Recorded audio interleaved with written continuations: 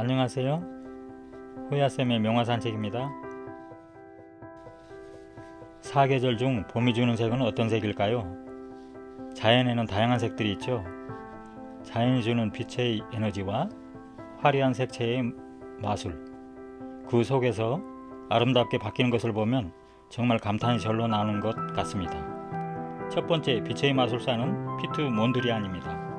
몬드리안은 1872년부터 1944년까지 활동한 네덜란드 추상미술의 시초이며 많은 추상미술가들의 선구자입니다. 그의 그림들은 가로와 세로의 검은 선의 격자와 삼원색을 사용한 것들이 많습니다.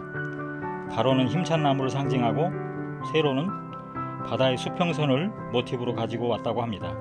몬드리안의 작품은 패션계에도 영향을 주었는데 패션 디자이너인 이브생 로랑의 몬드리안 룩은 그의 작품에서 영감을 받았다고 합니다. 몬드리안의 첫 번째 작품은 붉은 나무입니다. 검은색과 붉은색을 띠고 있지만 아직도 어둠이 깃들어 있죠. 두 번째 작품은 회색 나무입니다. 아직 정체성을 발견하지 못하고 자신의 색을 찾지 못한 혼돈이 섞여 있어 빛을 찾아가는 과정인 것 같습니다. 세 번째 작품은 꽃피는 사과나무입니다. 자신의 색을 찾아 한 단계 더 나아간 작품임을 알 수 있습니다. 사실적인 그림에서 추상적인 그림으로 어둠에서 빛으로 나아가는 과정이 보이셨나요? 그의 대표적인 작품은 가로 세로 검은 선으로 표현한 구성2입니다. 이데일리 기사에 따르면 2022년 11월 구성2가 미국 뉴욕 소더비 경매에서 약 680억 원에 낙찰되었다고 합니다. 구매자는 익명의 아시안이라고 해요. 두 번째 색채의 마술사는 마르크 샤갈입니다. 샤갈은 1887년에서 1985년 러시아 제국 현 벨라루스에서 태어난 프랑스의 화가입니다.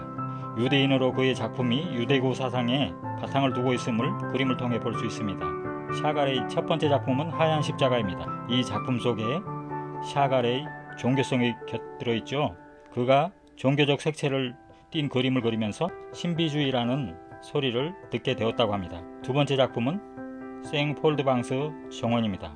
2022년 5월에 K옥션 경매에서 42억 원에 낙찰되었습니다. 작품의 왼편 아래 샤갈과 그의 첫사랑 벨라가 그려져 있고 그 가운데 꽃다발이 분수처럼 뿜어져 두 사람의 사랑을 표현하고 있습니다. 이건희 컬렉션이 국립현대미술관에 기증했다고 합니다. 세 번째 작품은 눈 내리는 마을입니다. 김춘수 시인이 시를 써서 헌정한 작품이기도 합니다. 이 작품은 자기 자신을 표현한 몽환적이고 신비스러운 그림입니다. 두 가지 견해가 있는데 자신의 고향을 그리워하며 그렸다고 보는 시각과 종교적인 관점에서 유토피아를 꿈꾸며 그렸다는 시각입니다. 중립적인 시각에 있는 저는 작품을 감상하는 분에 맡기겠습니다. 빛의 마술사인 몬드리안의 작품과 색채의 마술사인 샤갈의 작품을 여러분은 어떻게 보셨나요?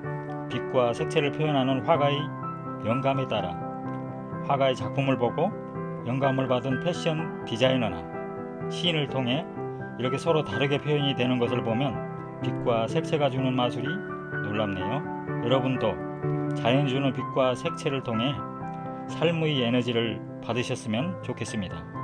지금까지 호야쌤의 명화 산책이었습니다. 영상 시청해주셔서 감사합니다.